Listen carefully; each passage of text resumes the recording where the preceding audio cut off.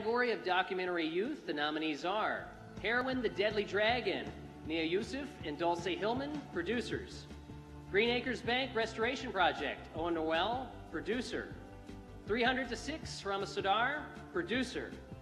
And the blue chip goes to Greenacres Bank Restoration Project, producer Owen Norwell.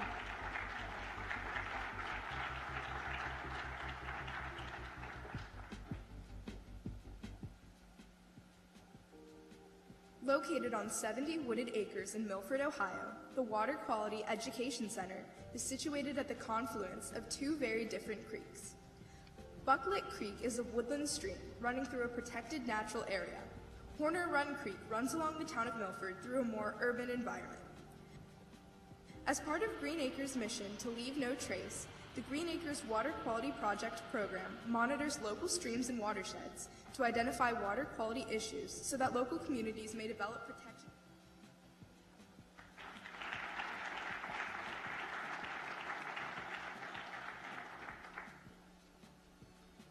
I'd just like to thank Mr. Dubs for the uh, work that he continuously puts into the programs at our high school to provide us with new opportunities on a consistent basis.